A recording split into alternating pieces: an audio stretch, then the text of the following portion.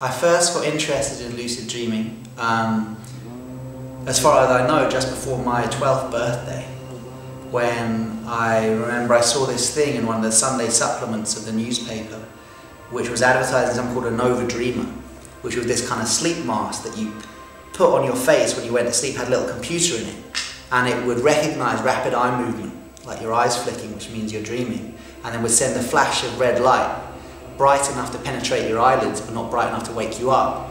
So then it would give you lucid dreams. And I was reading through this thing and I was like, ah, oh, lucid dreaming, that's what I do sometimes. And this device says you can do it more. So I tore it out and I went to my dad and I was like, Dad, Dad, I know I want for my birthday next week. And he was like, what? And I said, I want this uh, lucid dreaming thing. And I started to read out all its benefits and stuff. He said, how much is it? And I was like, just $250 plus postage and packaging. And he was like, dude, in your dreams. So I never got one. But now I own about five or six, and we bring them out on retreats, everyone has a go and stuff like that. And they're they're pretty fun. They're not as good as the you know as the real thing as actually training, but they can help people uh, like kind of like stabilizers on a bike. So that's my first memory of being interested in lucid dreaming. But then it was when I was 15, 16, I started getting interested in Buddhism and psychedelics and mind training and martial arts and all this kind of stuff. And lucid dreaming came along with that. I just started getting these feelings that there kind of had to be something bigger than this. So I went down the kind of drugs route and I was like, you know, there must be something bigger out there. And then I realized that lucid dreaming could give you access to this without the drugs, without tripping out. And it gave you access to something in the mind that revealed that there is something bigger going on and that the mind is, is a great creator of that. So when I was about 16, I bought some lucid dreaming books and taught myself how to do it. And I found it kind of relatively easy looking back on it. So I think I might I've had some sort of predilection towards lucid dreaming. Um, yeah, so I got into lucid dreaming, but then just using it for just sex really. Like the first two years of my lucid dream practice were exclusively like sex. Because I was 16, like what else, you know, not what else you to do in your dreams, what else was I doing in my dreams? Because that was obviously my predilection.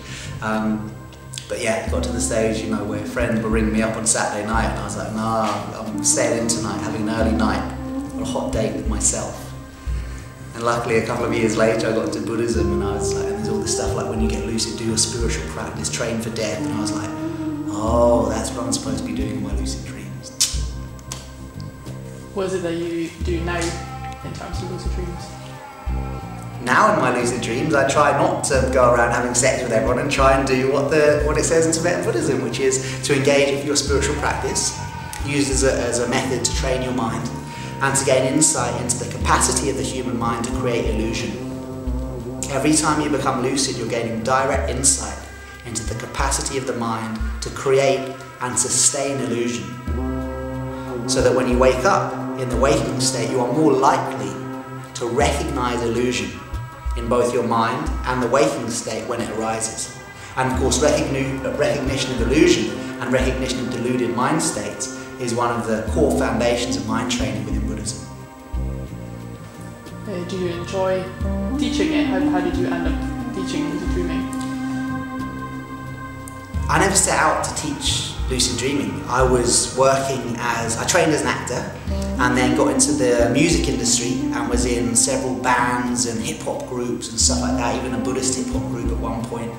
And uh, that's what I did. I was hanging out with a group of break dancers and rappers and stuff, and we used to tour around the festival scene and uh, teach kids, young offenders, that kind of stuff.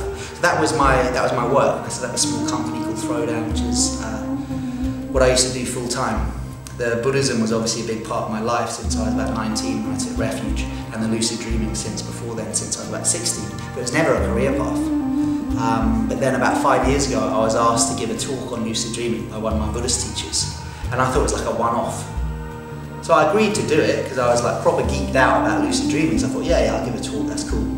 So I gave this talk, and then at the end of the talk, without asking this teacher, Rob Nairn, goes, who thinks Charlie should run a six-week lucid dreaming course starting next Tuesday? And everyone puts their hand up. And I was like, God, man, you just threw me in the deep end. So then I started doing this course, and then I got this authorization to teach thing from Lama Yeshe Rinpoche, and then, and then it all just kind of snowballed.